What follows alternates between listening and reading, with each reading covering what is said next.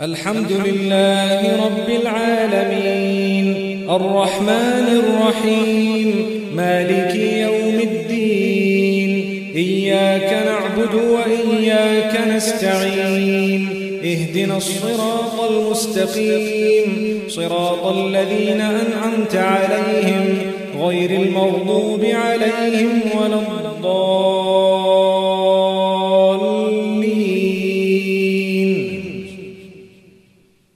السلام عليكم ورحمة الله وبركاته. بسم الله الرحمن الرحيم الحمد لله رب العالمين والصلاة والسلام على المبعوث رحمة للعالمين نبينا محمد وعلى آله وصحبه والتابعين ومن تبعهم بإحسان إلى يوم الدين وبعد.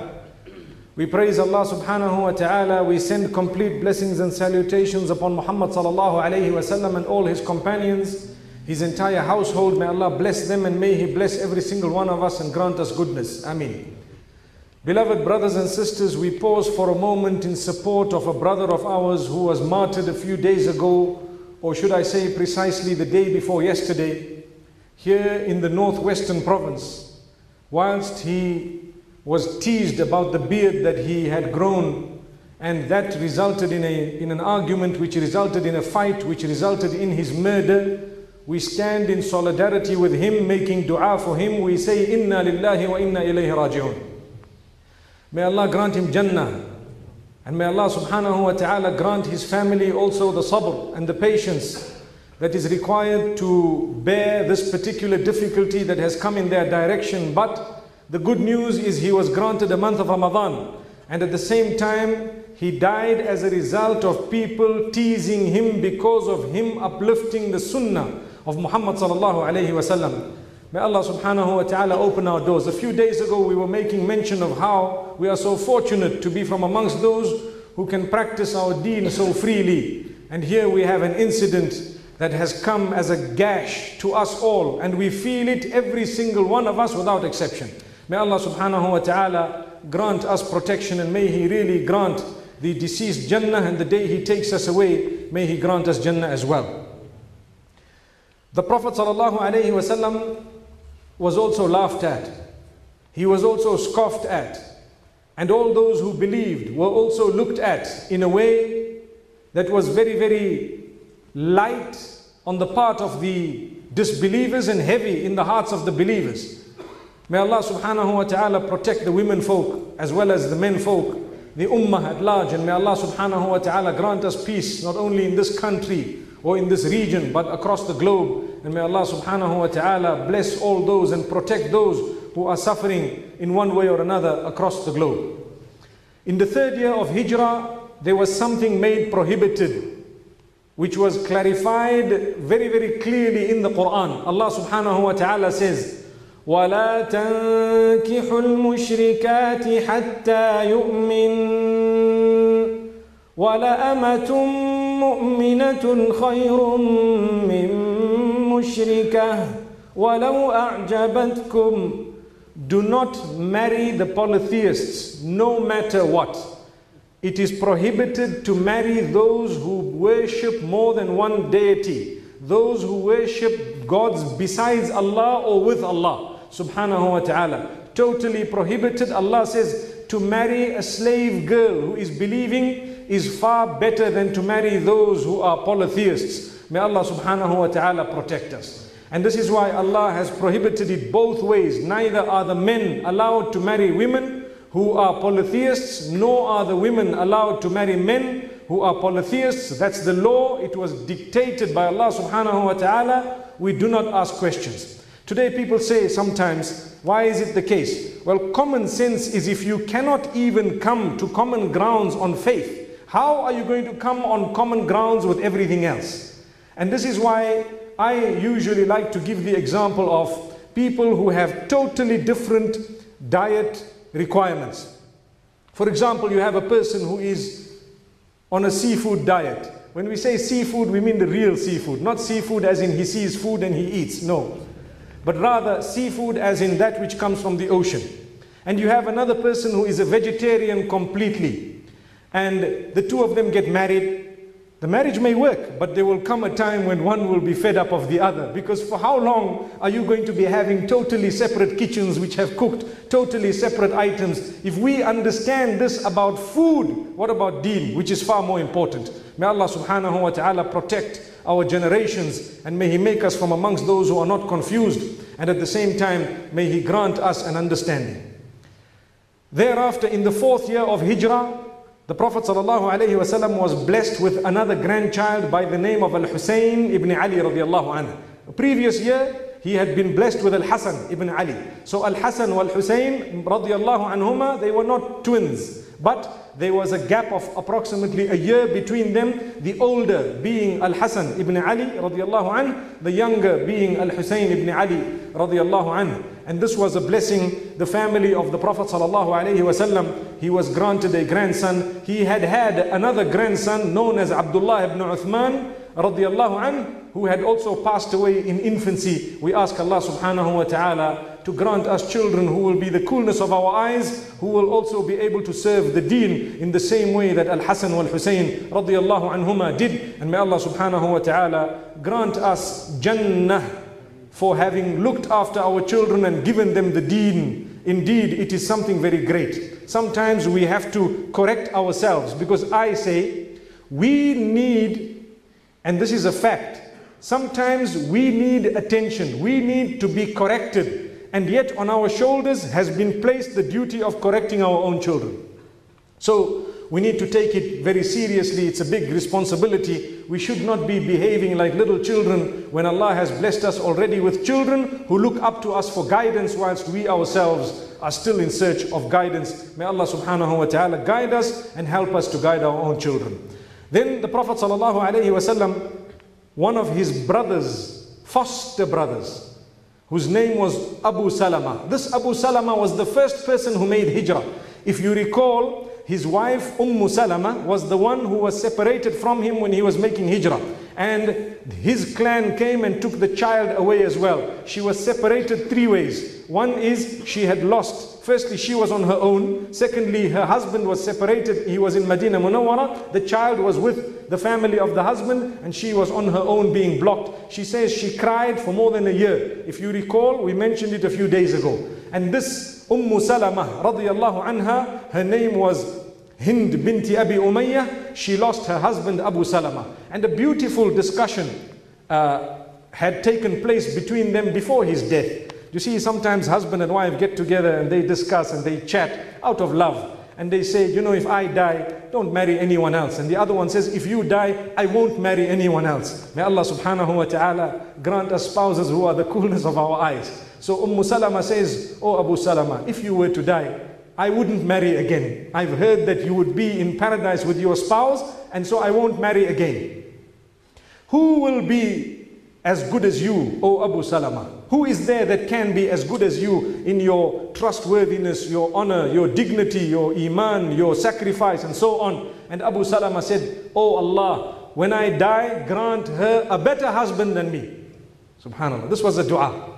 And although Umm Salama was quite reluctant, it is reported that after he passed away and after the iddah, Abu Bakr as-Siddiq radiallahu anhu had proposed to her or had requested and she politely turned it down, showed a disinterest. The same applies to Umar ibn al-Khattab radiallahu anh, according to the books of history. They say that she had politely said no until a day came when the Prophet sallallahu alaihi wasallam proposed for Umm Salama radiallahu anha. One of the reasons was she was obviously a widow. She was older than Muhammad sallallahu alayhi wasallam. And she had made this quite clear when she accepted the proposal. Look, I'm older than you. But at the same time, it was her sacrifice for the deen. She was one of those who sacrificed so much. And she had had a great respect amongst the believers, male and female. And the Prophet ﷺ did not want to leave her as a woman who had no guardian and so on. So the Prophet ﷺ proposed for her and he married her. Thereafter, hostilities began once again. In the fourth year of Hijrah, in Safar. Prior to this, there were a few skirmishes where you find some people had come in, they tried to harm, and the Prophet ﷺ sent a small army or a platoon to deal with them and so on. In this particular instance, there was some people who had come to Al Madinah Al Munawwara and they had requested that the Prophet ﷺ send with them some companions to teach them the Quran. And so the Prophet ﷺ sent 10 of his companions. From amongst them was Asim ibn Thabit al-Ansari radiallahu anh. He sent them to a place known as Al-Raji' And what had happened, the people who had come requesting in Medina Munawwara, they were a group of people from Adal and Al-Qara. Adal and Al-Qara, two little clans. The Prophet ﷺ sent with them 10 people. When they went on the road, on the path, these people changed their mind. They executed all 10 companions and this was a disaster. May Allah subhanahu wa ta'ala protect us. This was a disaster. They sought the assistance of Hudayl. Hudayl was a tribe and they sought their assistance. They executed them. Similar time, round about similar time, there was a group of people with a leader known as Amir ibn Malik. He had come from Najd and he did not accept Islam, but he had come to Muhammad sallallahu alayhi wasallam. He heard about Islam and he was very keen. And he said, Look, why don't you send a group of people to Najd? The Prophet sallallahu alayhi wasallam says, I fear the people of Najd. They might harm my people. He says, I give my guarantee. With my guarantee, nothing will happen. And as you know, at that time, the guarantees used to work.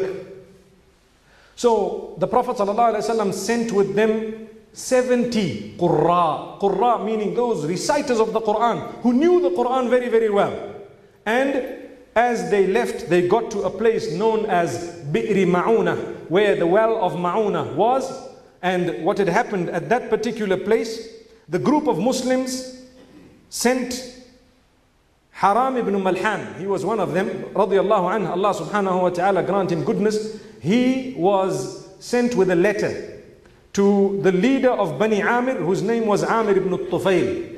And this Amir ibn Tufail, he had had this letter. Without reading it, he heard these people are Muslimin, he executed this man.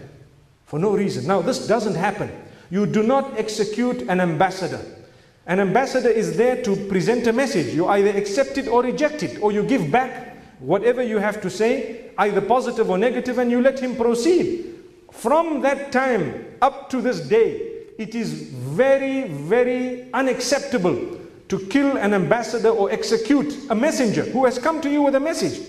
Imagine a postman comes to you with a message of someone else and you execute him because you don't like the message. May Allah subhanahu wa ta'ala protect us. If that was the case, we wouldn't have postmen at all. Allahu Akbar. So, when that happened, it caused a little bit of a disaster. These were 70 men from amongst the Muslimin. And this man who had killed Haram ibn Malhan, what he did is he called his people Banu Amir that come, let's come to my assistance because the rest of them are going to come and attack. Banu Amir said, no, these people have the guarantee of Amir ibn Malik. So we are not going to assist against him and against them. And when that happened, this man, Amir ibn Tufail, he called some other tribes and clans from nearby, come and help. Who were they? The tribe of Ri'al, the tribe of Dhakwan, the tribe of Usayyah. They came in and they executed all those companions besides one or two of them who pretended that they were also from amongst the dead, but they had not died.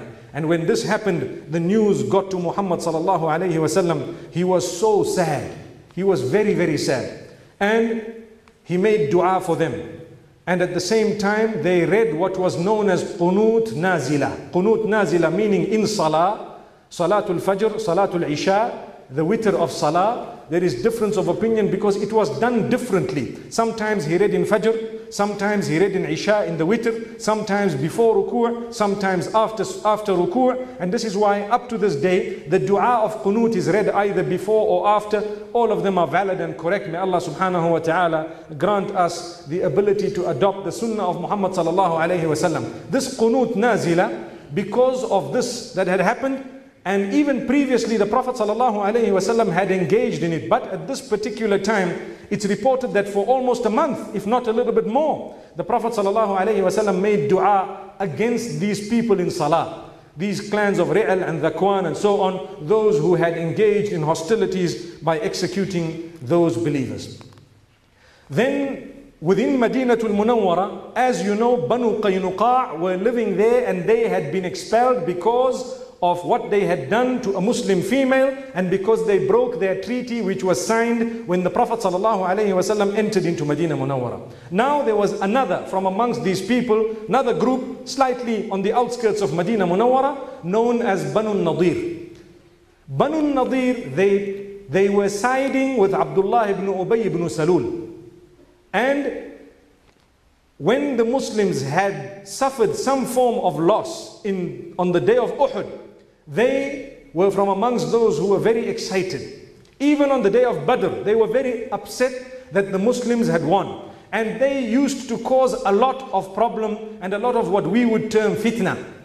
And therefore, what had happened, the Prophet ﷺ was already warned about them. And they were waiting for a moment to execute the Messenger ﷺ. So much so, they tried to get him to sit in one place where from the top they could throw a rock on him sallallahu alaihi wasallam so that he could be executed or he could be killed sallallahu alaihi wasallam and what happened? Allah subhanahu wa ta'ala informed Muhammad sallallahu alaihi wasallam look at the plan. They were caught red-handed.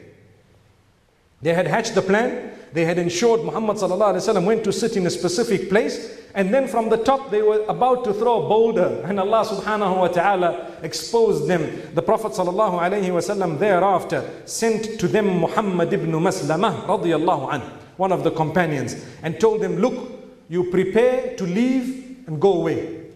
We are expelling you in goodness. You have broken your treaty. You have intended to harm and to murder, and you want to murder the leader of the Muslims, meaning the Messenger sallallahu alayhi wasallam.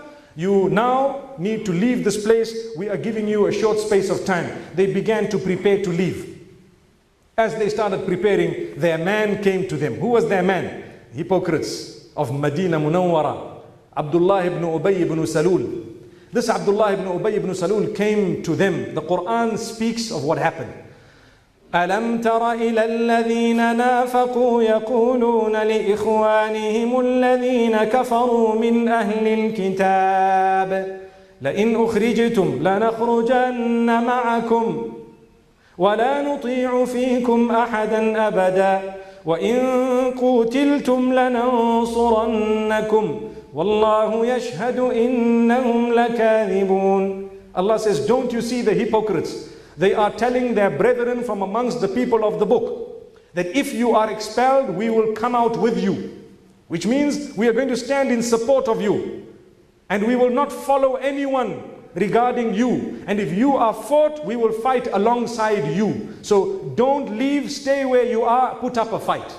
This is what Allah subhanahu wa ta'ala exposed the hypocrites about.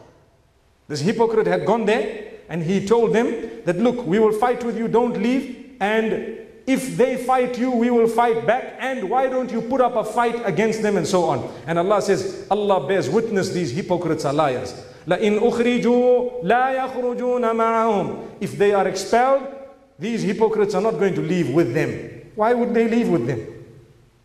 وَلَئِن قُوتِلُوا لَا يَنصُرُونَهُمْ And if they are fought, these people are lying. They will not assist them. Not at all. وَلَئِن نَصَرُوهُمْ لَيُوَلُّنَّ الْأَدْبَارِ And even if they had to come to help them, they would flee, they would run away. Because the hypocrites don't have anything to fight for. These people of Banu Nadir, they would be fighting for something. But the hypocrites are promising them false promises. So when this had happened, they decided to keep themselves within their fort. They were heavily fortified, Banu Nadir. And they thought, this fort of ours, nobody will be able to penetrate it. So what happened, Muhammad ibn Maslama had sent message to Rasulullah sallallahu alayhi wasallam. This was just on the outskirts of Medina Munawwara. And the Prophet sallallahu alayhi wasallam went to them with an army, surrounded them for six nights. He surrounded them. And then fear gripped them.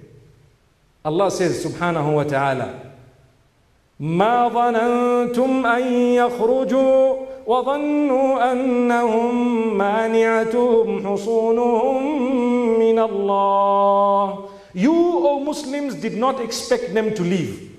And they felt that our fortress will protect us. from Allah. We won't be able to be harmed. And Allah says, فأتاهم الله من حيث لم يحتسبوا وقذف في قلوبهم الرعب Allah got to them from a from a point that they had not expected and fear overtook them. What was the fear that suddenly overtook them in six nights? They remembered Banu Qaynuqa. The Prophet ﷺ surrounded them for two weeks, more than two weeks. And Banu Qaynuqa were then ordered to leave. And so the point of fear that gripped them was this man is a hypocrite, he lied to us, and he's not coming to our assistance here. We're putting up a fight. It's been six days, we are surrounded, no one has come to our help, and so therefore they decided to make peace.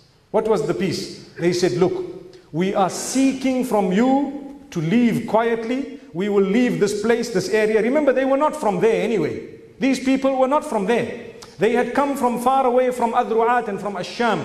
And now they went back to Adri'at and to Asham.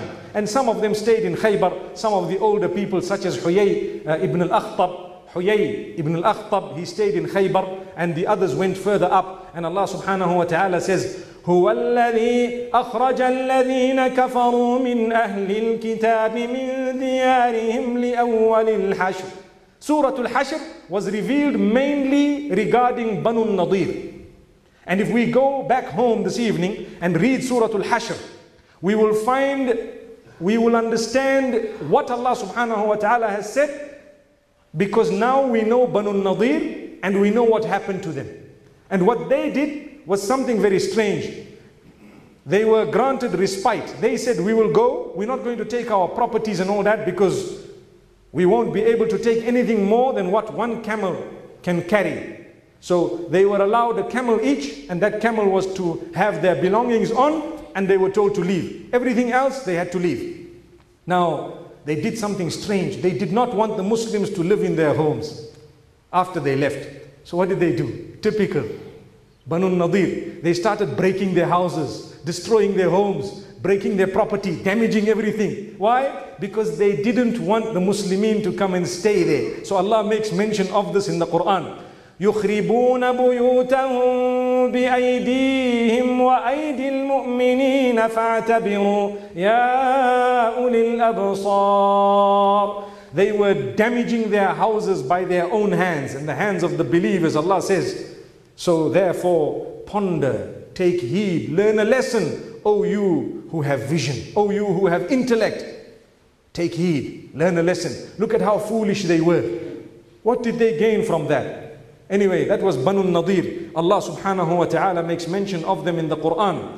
And this is why when they left, they had left quite a lot of their belongings, quite a lot of their wealth and so on. This the Muslims had got without a war. All they did was they surrounded these people who broke the treaty. How did they break the treaty? They wanted to kill the messenger. And on top of that, they aided the, the hypocrites. And on top of that, they were causing lots of fires. And Allah exposed them. So they broke their treaty. The Muslims surrounded them. They left. Now, whatever property was there, Allah subhanahu wa ta'ala declares this as al-fay. Al-fay is different from al-anfal. An anfal are the spoils of war where battle has taken place. We can call it the booty of war or spoils of war. These are all names of the property left behind by the disbelievers after they were fought. And in this case, there was no fighting. So it is called al-fay, that which the Muslims got without a battle, without a war. And Allah subhanahu wa ta'ala declares the ruling about al-fay. Allah says, ما أفاء الله على رسوله من أهل القرى فلله وللرسول ولذي القربى واليتامى والمساكين والمهاجرين في سبيل الله Allah subhanahu wa ta'ala speaks about how this fay belongs to Allah and His Messenger and they will distribute it according to the instruction of Allah amongst the poor, the family members and so on and those who are needy and Allah subhanahu wa ta'ala makes mention of various uh, categories of people again in Surah Al-Hashr. So this was also a ruling that Allah subhanahu wa ta'ala had made mention of in this particular instance. uh, two people from amongst Banu Nadir accepted Islam. And they were from amongst those who were allowed to stay. They accepted Islam and became very good Sahaba of Rasulullah sallallahu alayhi wasallam.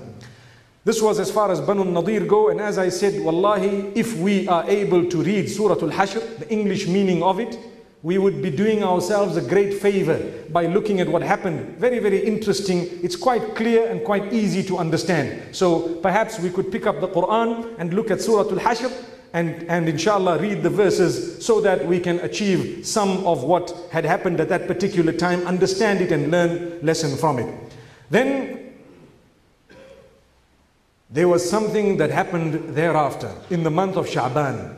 Do you recall that when the battle of Uhud happened, as Abu Sufyan was leaving, what did he say? He said, Next year, same time, in Badr, we meet again. And he left. So the Prophet ﷺ, he prepared his army and he prepared 1,500 men. According to some narrations, he had almost 60 horsemen and they started proceeding to Badr because they had an appointed time with the mushriks of Mecca and in the meantime Abu Sufyan prepared 2,000 men and he started moving also towards Badr. He started moving towards Badr. And thereafter he hired a man. This man's name was Nu'aym ibn Mas'ud al-Ashja'i. So Abu Sufyan hires him and told him, go to the Muslims who are just about leaving Medina and so on. Tell them we have prepared a huge army and we are coming to wipe them out. So this man went and he told the messenger sallallahu alaihi wasallam, I am here. Messenger, I am telling you, I am warning you that Abu Sufyan has prepared a huge army coming to wipe you out. And Allah subhanahu wa ta'ala makes mention of this in the Quran. الذين قال لهم الناس إن الناس قد جمعوا لكم فاخشوهم فزادهم إيمانا وقالوا وقالوا حسبنا الله ونعم الوكيل Those whom the people came to them, the people here referring to this man, Nu'aym ibn Mas'ud, he was a person. He came to them and told them that the people, which means Abu Sufyan and them, have prepared a huge army against you.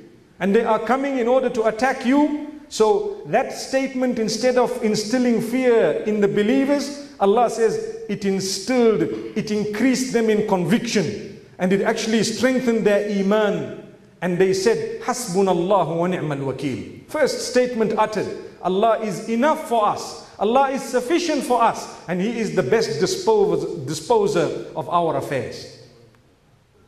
Now this statement is a powerful statement.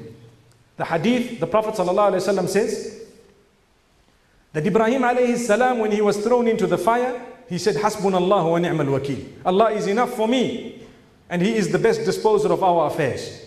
And it was said again by the Prophet ﷺ and the mu'mineen when he was told by Nu'aym al-Ashja'i that Abu Sufyan is coming in order to attack you with a huge army and he, the same dua was made again repeated in the Quran. And this dua thereafter was made many times. How many of us when we first hear news of insecurity do we say hasbunallahu wa ni'mal wakil Allah is sufficient.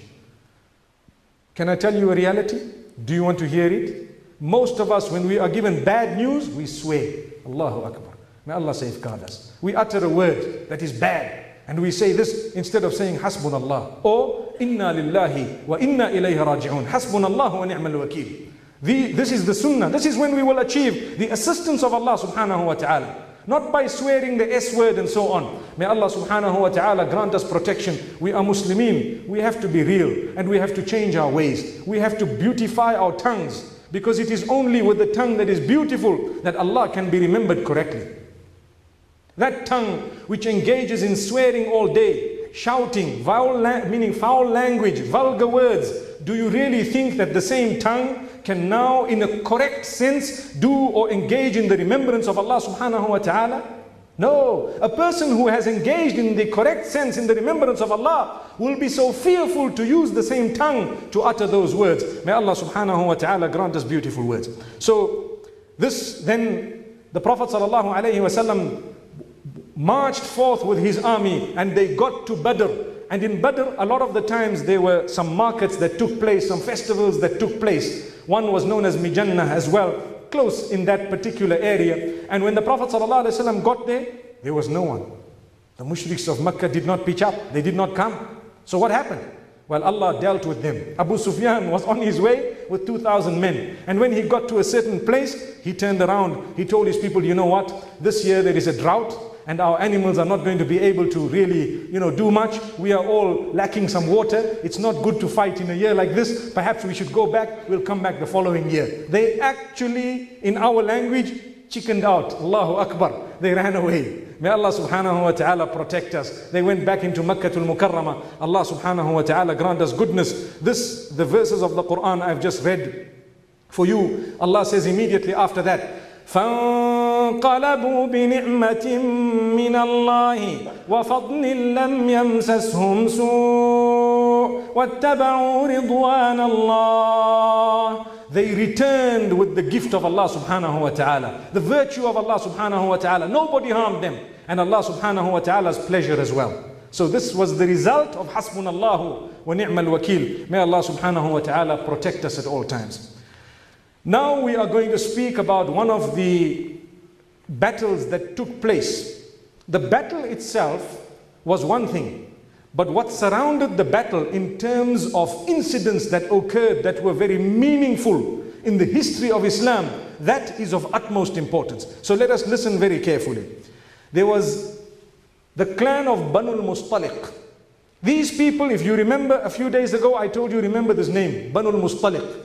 They had helped Quraysh when Quraysh came in the battle of Uhud and Quraysh had gathered a few tribes with them. One of them was Banu al-Mustaliq. So the Muslims had to pay them back, number one. Number two is, these Banu al-Mustaliq, they used to waylay some of the travelers who used to go to Mecca as they were on the path. So they used to trouble and harass some of the people, number two. Number three, Banu al-Mustaliq were preparing an army in order to come and harm the Muslims in Madinatul Munawwara. And Allah subhanahu wa ta'ala informed Muhammad sallallahu alayhi wa sallam. They, they sent a spy into Medina Munawwara to spy for them. And by that time, the army of the Muslims had already been prepared 700 men with 30 horsemen, and they had come out with some of their women and from amongst them some of the wives of the Prophet ﷺ, he had a habit when he had to go with his wives, he would sometimes draw lots, which means, you know, choose, pick up one of their names, pick out one of their names, whoever's name is there, that is the wife who would go with him, sallallahu alayhi wasallam. On this instance, it is reported that Aisha radiallahu anha joined Muhammad sallallahu alayhi wasallam. One of the narrations make mention of Umm Salama as well. Allah subhanahu wa ta'ala knows best, but Aisha radiallahu anha was definitely there. And she was amongst the others, there were a few other females that had gone. This spy, they got hold of him and they asked him a few questions. They figured he's a spy, he was executed, obviously, espionage.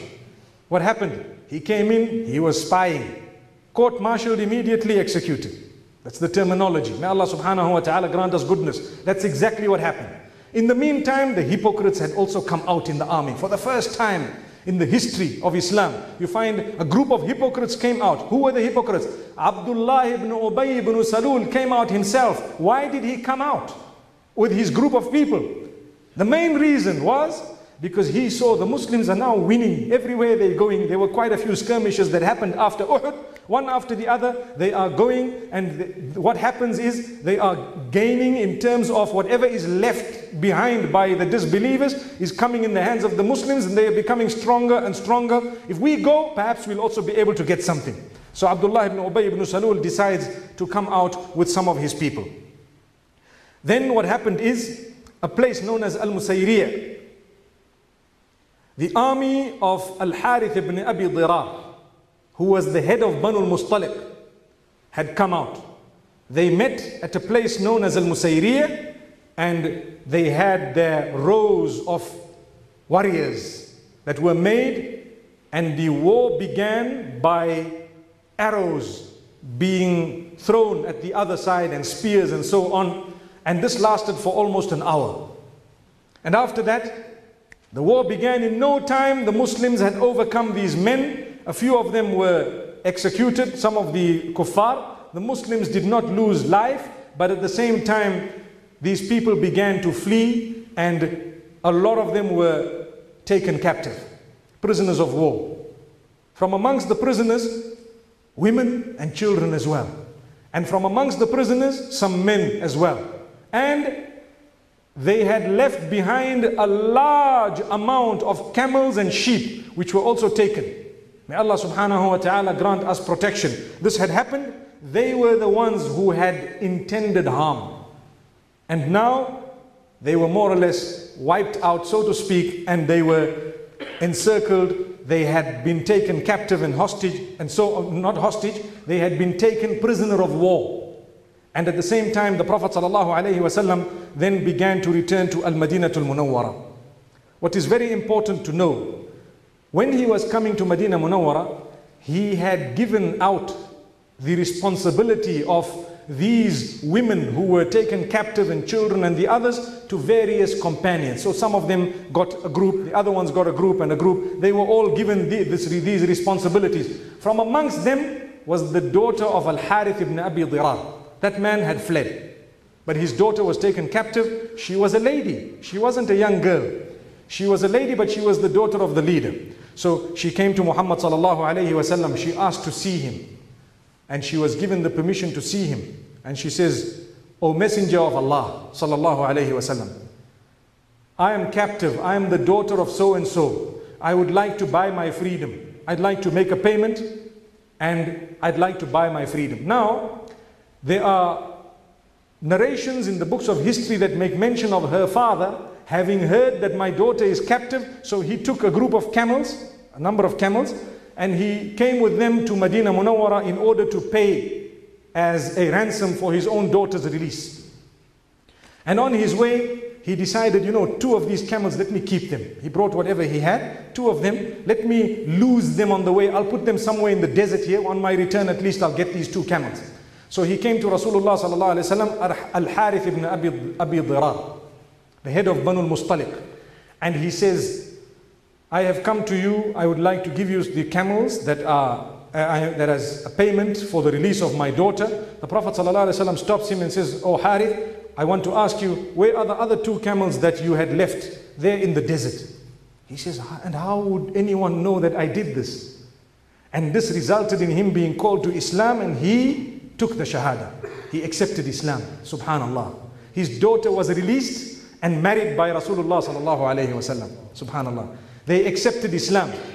And when they accepted Islam, it is reported that her name was Juwayriyah bint al-Harith. The daughter of this al-Harith ibn Abi, Abi Dirar. Her name was Juwayriyah bint al-Harith. But there are narrations that say, no, her name was either Barra or Al-Battah. And the Prophet ﷺ changed the name because it did not have a suitable meaning. So he named her Juwayriyah after that. Whatever the case was, her name, according to us, Ummul Mu'mineen, she was Juwayriyah bint al-Harith radiyallahu anha. May Allah subhanahu wa ta'ala grant her goodness. Something very interesting happened. At that moment, when the Prophet ﷺ got married to her, the nikah was done, news spread amongst the companions that the Prophet has married Juwayriyah bint al-Harith. Immediately they all said, well, these are now our in-laws. So we free all of them because we cannot hold captive our own in-laws. So the entire tribe or all of them were set free and all those families who had had so many captives amongst the Muslims were set free. It is reported that with this gesture, Banul Mustaliq accepted Islam in totality. Subhanallah. They saw the goodness of the Muslims and they saw how they were treated and they saw how they were released. They saw how the Prophet ﷺ married into them. And this was also the wisdom that was granted to Rasulullah ﷺ by Allah subhanahu wa ta'ala. Divine ruling. Because look at the love in the hearts of the people. They had intended to come to war. They were fighting. They were captive. And here they are accepting Islam. Am bakrati abihim. All of them. Subhanallah. May Allah subhanahu wa ta'ala grant us understanding. With us, nobody is fighting us. And at the same time, we are so fortunate, nobody's captive. Still, we don't want to adopt the laws of the Sharia. May Allah subhanahu wa ta'ala protect us. Sometimes we cannot let go of a bad habit to please Allah subhanahu wa ta'ala. Where are we? And where are these people? May Allah protect us. We need to identify our bad habits. Give them up for the sake of Allah subhanahu wa ta'ala. So this was a very, very beautiful story. The Prophet wasallam, this same Juwayriyah bint al-Harith, she was a person who was so pious. She used to sit on the musalla for hours on end. There is a hadith she makes mention of. In Sahih Muslim, the Prophet wasallam is reported by the hadith of Juwayriyah bint al-Harith radiallahu anha. She says, I was once sitting on my musalla when the Prophet wasallam left for Salatul Fajr. And he came back when the sun had risen. And when he came back, he saw me sitting on the same place, engaging in the dhikr of Allah subhanahu wa ta'ala. So he says, Have you been sitting here all along? She says, Yes, I was sitting here all along. The, obviously engaged in dhikr, remembrance of Allah. He says, I will teach you four words. If you repeat them thrice, they are better than everything you uttered from the time I left to the time I returned if they were to, put on, to be put on the scale. So, what are those words? Let's learn them. Subhanallah wa bihamdihi, adada khalqihi, wa rida nafsihi, wa zinata arshihi, wa midada kalimatihi. Four words. Subhanallah wa bihamdihi. We declare the praise of Allah subhanahu wa ta'ala. Allah subhanahu wa ta'ala's praise and His glory. How much? That's the question, isn't it? How much are we declaring? We are declaring it with four words. Adada khalqihi. We declare His praise and glory, the number of creatures He has created. That's how much. Number one. Warida nafsihi. And we declare His glory and His praise until He is pleased. Wazinata arshihi. And we declare His glory and His praise, the weight equivalent to the weight of his arsh. Obviously, that's infinity. Allahu Akbar. وَمِدَادَ كَلِمَاتِهِ And as, as stretched as all his words, the words and the signs of Allah subhanahu wa ta'ala, as broad as all that. Subhanallah. Look at how beautifully this is worded. May Allah grant it to us. I want to repeat this because we are taught from this hadith, if we repeat these four words thrice, in the morning, it is better for us than having sat for quite a while. If that was told to her, Juwayriyah bint al-Harith radiallahu anha, what about us? Subhanallah wa bihamdihi, adada khalqihi, wa rida nafsihi, wa zinata arshihi, wa midada kalimatihi. So this was Juwayriyah bint al-Harith radiallahu anha. Now, the battle of Banu al-Mustaliq, the Prophet sallallahu alayhi wasallam was faced with something else. He was still returning from the battle he was still returning from the battle. And the hypocrites started their mischief again. This time they were with the Prophet ﷺ. Obviously, I, I, just skipped for a moment and went to what had happened with the marriage of Rasulullah ﷺ and so on. But here, we are now going back to where the battle was. Abdullah ibn Ubay ibn Salul, his mischief again. A man from amongst the Muhajirin and a man from amongst the Ansar had had a quarrel. They had a quarrel, a debate. So the one calls his people against the other.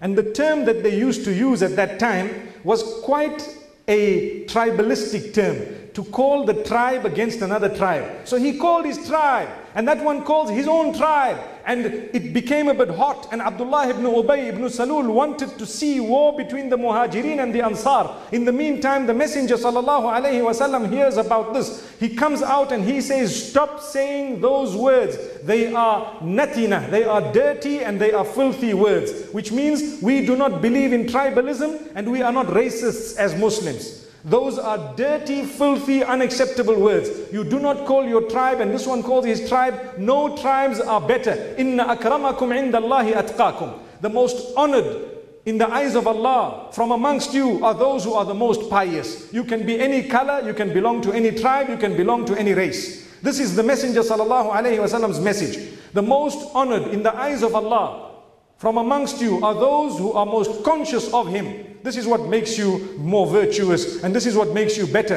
And the only one who knows consciousness of Allah is Allah alone. Allah knows the condition of the heart. May Allah grant us piety. So the war had stopped or the battle had stopped. Abdullah ibn Ubay, it wasn't actually a battle, but it was just like a little bit of a misunderstanding. It was settled immediately. Abdullah ibn Ubay ibn Salul was upset because he was a hypocrite. He wanted to see them fighting. And he started telling his people, he had a group of people with him. He started saying, You see this man? You people brought them. Him and his people, the Muhajirin. You brought them, you gave them your, your clothing, you gave them your homes, you gave them your wealth, and you're opening them and you are feeding them in order for them to come back and attack you one day. So he is now instilling hatred in the hearts or trying to instill hatred in the hearts of people. But he did not succeed. He kept on saying this. Then he says, You will see, when we get back to Medina, those who have power will remove those who are weak and downtrodden. And those who are higher will remove those who are lower. يقولون لئن رجعنا إلى المدينة ليخرجن الأعز منها الأذل They say, when we go back to Medina, those who are higher will remove those who are lower. Those who are superior will remove those who are inferior. Who is he referring to? He is referring to the Prophet ﷺ being inferior, na'udhu billah. And so, when this statement came out, there was a young boy. This young boy, he was Zayd ibn Arqam. He heard these words from Abdullah ibn Ubay. He told his people, look, don't spend and don't give money to these muhajirin until they disperse from the messenger and they stop listening to him. They need to listen to us. When they listen to us, we'll give them money. This is the attitude of a lot of people today. Money will only come when I am the boss. You consider me boss, then I give you the money. Allahu Akbar. If you don't consider me boss and I have no say in what's going on here, why must I give you any money? May Allah subhanahu wa ta'ala make us from those who spend in the correct cause. The correct cause is not dictated by us, it's by Allah subhanahu wa ta'ala. How can we have a say? We cannot say, look, I will give money to the masjid on condition that you make a door that leads from there to my house. what is that? May Allah protect us and may Allah subhanahu wa ta'ala grant us goodness. So this was Abdullah ibn Ubay. He says, هم الذين يقولون لا تنفقوا على من عند رسول الله حتى ينفضوا They are the ones, Allah is exposing them saying they are the ones who are saying don't spend upon these people until they disperse from the Prophet ﷺ. Then you can give them. So this Zayd ibn Arqam comes to his uncle. He tells his uncle, this is what I heard Abdullah ibn Ubay saying. And his uncle goes to Rasulullah sallallahu. This is what I heard him saying. He is instilling hatred, trying to instill hatred and to, to really cause problem. So the Prophet sallallahu alaihi wasallam was a very straight man, the straightest of all ever. He calls Abdullah ibn Ubay. Did you say this? He says, Wallahi, I did not say anything of that nature. Wallahi. I promise by Allah, I didn't make a statement of this nature. So then uh, the Prophet ﷺ calls the young man, the young boy. What did you hear? He says, This is what I heard. Now, two speech clashing, two points of speech clashing, this man's and that man's, this young man's. So the Prophet ﷺ told Zayd ibn Arqam, perhaps you know, some of the companions said maybe he might have heard wrong, he might have this, he might have that. So the Prophet ﷺ felt that okay, perhaps he meant something else, perhaps he didn't say it, perhaps it wasn't exactly like that. Do you know what happened? Allah sends down Quran, one whole surah, Surah Suratul Munafiqun. Again, that's a surah we need to go back and read. Now you'll understand exactly what it says there because you know the story behind the whole surah. And Allah exposes this hypocrite Abdullah ibn Ubay and Allah says, إِذَا جَاءَكَ الْمُنَافِقُونَ قَالُوا نَشْهَدُ إِنَّكَ لَرَسُولُ اللَّهِ وَاللَّهُ يَعْلَمُ إِنَّكَ لَرَسُولُهُ وَاللَّهُ يَشْهَدُ إِنَّ الْمُنَافِقِينَ لَكَاذِبُونَ When these hypocrites come to you, they say, we bear witness that you are the messenger. Allah, Allah knows that they are lying and Allah bears witness that these hypocrites are liars. And then Allah subhanahu wa ta'ala exposes the entire scene in the same surah. And Allah says, Yes, He is the one who said this. And He is the one who said, When we go to Medina, the superior will remove the inferior. And He is the one who said that do not spend on these people until they leave and disperse from Muhammad sallallahu alayhi wasallam. And Allah subhanahu wa ta'ala exposes them. And this is why Allah says, Ya ayyuhalladhina amanu لا تلهكم أموالكم ولا أولادكم عن ذكر الله O you who believe, don't ever let your wealth and your family members distract you from the remembrance of your Maker. Don't let that happen. Your family members, yes, we look after them. Your wealth, yes, we would like to earn, but not at the expense of your faith and your belief and your religion and your link with Allah subhanahu wa ta'ala. May Allah grant us sustenance that is pure and good. So, Usayd ibn Hudayr radiallahu anhu, when he heard that Abdullah ibn Ubay ibn Salul had said the superior will remove the inferior when we get to Medina. We're going to hatch a plan in order to remove Muhammad and so on. He came to the Prophet ﷺ, he asked a question, O Messenger, why is it that we are suddenly leaving Banul Mustaliq? We are leaving in the heat. Normally they would wait until it's a bit cool, but they were instructed to leave in the heat. The Prophet ﷺ did not want the meaning the companions, to be talking about this. So he left in the heat and he started to return to Medina Munawwara. Usayd ibn Hudayr radiallahu anhu comes and he asks, he says, why are we doing this? He says, didn't you hear that man saying these words? Usayd ibn Hudayr says, Wallahi, you are the superior and he is the inferior. Subhanallah. So he will be removed, not you. And this was the passion of the Sahaba radiallahu anhum. May Allah subhanahu wa ta'ala grant us even a fraction of it, for indeed it would elevate us in every single way. Then comes a very, very serious story which we will commence this evening and inshallah we will continue with tomorrow. What had happened is Aisha radiallahu anha, as they were returning from Banul Mustaliq, as you heard moments ago, they were rushing out because of things that had happened. And at that time, there used to be something known as a hawdaj on top of the camel for the women. They were covered in an enclosure a little small tent-like structure that was on top of the camel, which was covering them, protecting them from the sun, and at the same time being more privacy for them. And what they used to do when the camel sits, they would lift that whole thing off and they would put it aside and they would go away and the females would then engage in whatever they have to and later on when they had to depart, they would carry it respectfully, put it back on the back of the camel and they would depart. So Aisha radiallahu anha says that when this army was there, I lost a necklace of mine. So I went out to look for this necklace. And when I was looking for the necklace, the army departed. They had taken this howdaj, lifted it, thinking I was on. As it is, I was quite young and I was not quite heavy. They wouldn't have known if there was a person in there or not. They put it on the camel and they departed. When I got back to where the howdaj was, I noticed everybody's gone. I was shocked and I was dressed in black, covered in black. And she says, radiallahu anha, I paused for a moment there hoping that they would probably notice that I'm not there and they would come back to see me. And in the interim, I fell asleep. When I fell asleep, Safwan ibn al-Mu'attal radiallahu anhu, after some time, he was passing by and he noticed something black. And he stopped, and as he stopped, I got up. And when I got up, I only heard him say, Inna lillahi wa inna ilayhi raji'un. That's all I heard him say. Nothing else. No other statement, no greeting, no talking, no nothing. There was nothing that happened. He only said, Inna lillahi wa inna ilayhi raji'un. And he had assisted Aisha radiallahu anha. He let the camel come down. She had got on.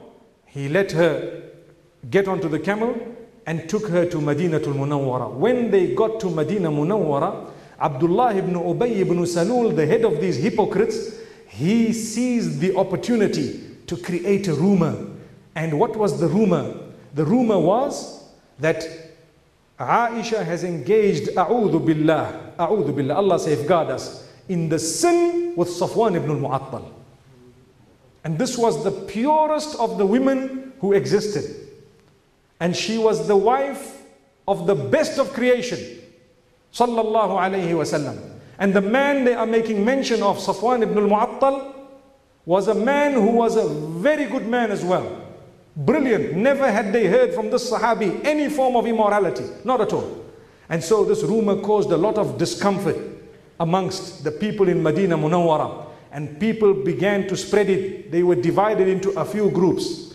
The first group, the one who created the rumor, his name was Abdullah ibn Ubay ibn Salul. The second group, those who were responsible to spread the rumor. And the third group, those who did not believe it at all and they said this is an absolute fabrication and a lie. May Allah subhanahu wa ta'ala grant us goodness inshallah. Tomorrow we will see what happened thereafter and how Allah subhanahu wa ta'ala clarified the name of Aisha radiallahu anha by revelation that is in Surah An-Nur that we read up to this day. May Allah subhanahu wa ta'ala cleanse us as well until we meet again. Wa sallallahu wa sallam wa baraka ala nabina Muhammad. Subhanallah bihamdih. Subhanak Allahumma bihamdika nashhadu an la ilaha illa anta. Nastaghfiruka wa natubu ilayk. الحمد لله رب العالمين الرحمن الرحيم مالك يوم الدين إياك نعبد